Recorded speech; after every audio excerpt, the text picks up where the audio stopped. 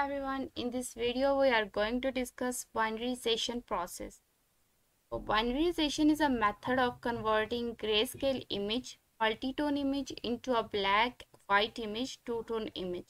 So to understand the process of binarization, first we have to know what is threshold value. So any value or a limit value of uh, any function is known as threshold on which we can say above uh, the value that we get above the limit is uh, true and uh, if we get a value that is below the limit then the answer is false.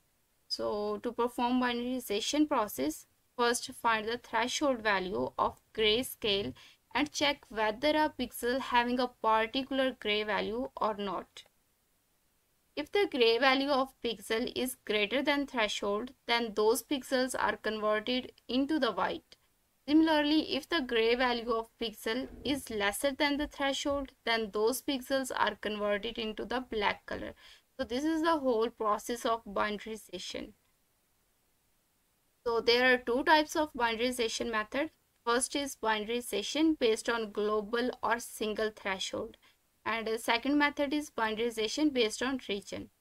So here we have an image in which we can see the difference uh, this is in the form of grayscale that is in the uh, multi-tone image. And uh, its range is from 0 to 256 and uh, this is in the form of binarization and uh, it have only two colors uh, white and black. So what is binarization based on global or a single threshold? So we find a global threshold for the whole image or binarize the image using a single threshold. So basically in this process we uh, use both a global threshold or a single threshold.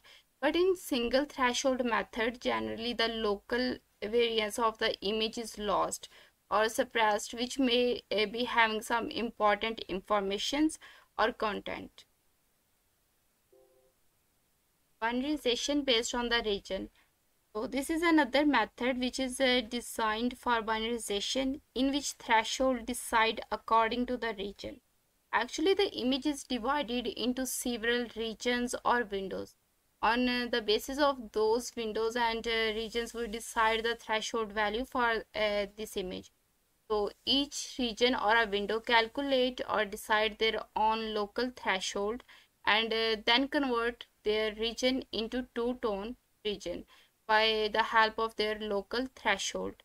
So binarization process is failed in practical scenarios because of degradation may be occur due to less efficient acquisition process of image or a poor quality of the original source. So this is a binarization based on the region in which we divide the whole image into the regions or windows and uh, then we calculate their uh, local threshold and uh, on and those uh, local threshold values we decide their color and uh, convert this image into the two-tone image.